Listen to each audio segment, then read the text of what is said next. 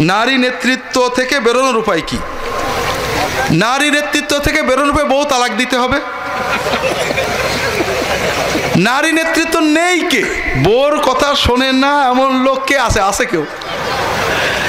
আর যদি বলেন রাষ্ট্রের নারী নেতৃত্ব, বড় মুশকিলের কথা। এই রাষ্ট্র চলে অধিকাংশ মানুষের পরামর্শে মতে, ঠিক না?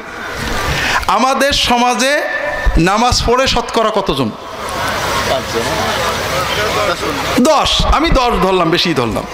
এই দশজন যারা নামাজ পড়ে, তারা ইসলাম মানে কতজন? নামাজও পড়ে, সুদ খায়, ঘুষ খায় দাঁড়িয়ে রাখে না ধূমপান করে, বউ পর্দা করে না সিনেমা দেখে আসে না নেই?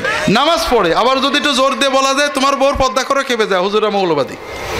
নামাজ পড়ে, আবার সুদের বিরুদ্ধে পাঁচ দিন ওয়াজ করলে বলে, কমিটিকে এই লোককে তাড়াও। আছে না নেই? তাহলে পিওর ইসলাম মানে?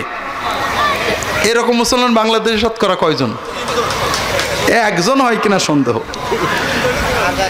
এখন নিরানব্বই জনে চাই নারী নেতৃত্ব, আর একজনে চাই না, হবে কাড্ডা পাল্টানোর উপায় কি? উপায় হলো আপনি এক থেকে তিরিশে চলে যান অর্থাৎ আপনি মানুষদেরকে হাতে ধরে, পায়ে ধরে মসজিদে আনেন, নামাজ পড়ান, দিন শিখান, কোরআন মানান। যখন অধিকাংশ মানুষ মুত্তাকি হয়ে যাবে, তখন আপনি যেটা চান, মুত্তাকিরা যেটা চাই সেটাই হবে। আর এইটা না করে যত চিল্লাবেন, ঝগড়া করবেন, গালাগালি দেবেন, খুশি খুশি লাগবে, কিন্তু কাম কিছু হবে না, আর আল্লাহ খুশি হবে না।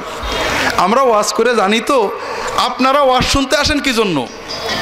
খুব ভালো কথা, শক্ত কথা, একেবারে সুলিয়ে দেশে কার? আপনাদের প্রত্যেকের মনের ভিতরে কিছু ব্যথা আছে। কারোর আমলিগের বিরুদ্ধে, কেউ জামাত ইসলামের বিরুদ্ধে, কেউ সরমনের বিরুদ্ধে, কেউ তবলিগের বিরুদ্ধে, কেউ বিএনপির বিরুদ্ধে। আপনারা চান হুজুর আমার মনের ব্যথাটা শক্ত করে কোক। যদি হুজুর বলতে পারে, জিন্দাবাদে ভরে যাবে।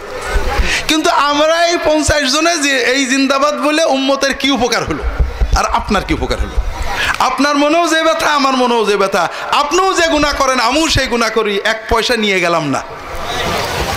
যখন আমি আপনার গুনার সমালোচনা করো, ভাই, বউকে পর্দা করান, ভাই, কালকে থেকে তাহাজুদ পড়বেন, আপনি খুশি এ কি ওয়াজ করল?